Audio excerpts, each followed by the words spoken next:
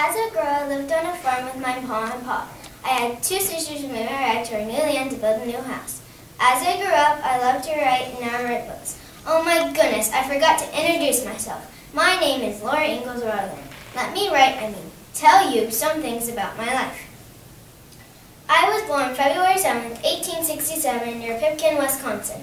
My mother's name was Caroline Ingalls and my father's name was Charles Ingalls. I had one brother and three sisters. Their names were Mary, Carrie, Grace, and Charles. Sadly, Charles died at the age of nine months.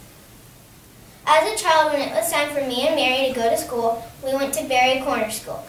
As I grew up, I worked at sewing, milking cows, making butter, teaching, and of course, writing books. The things that made me important were things like this.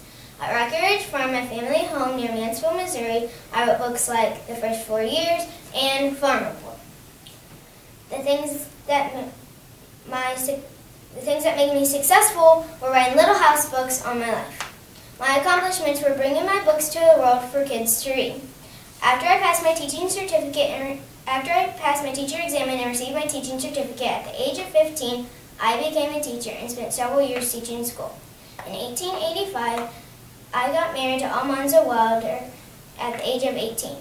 A year later, little, little Rose was born. In the year of 1932, Little House in the Big Woods was published. In the year of 1935, Little House on the Prairie was published.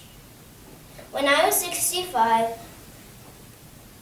in the year of, uh, I used to say, home is the best word, word in the world, and suffering passes but love is eternal. That is the gift you have received from God.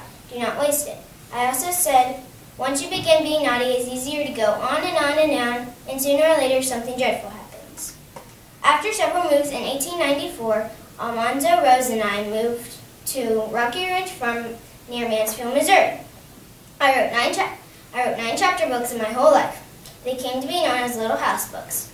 Unfortunately, I passed away February, February 10, 1957. I died of complications of diabetes. Now I better go. I have to go write some more books.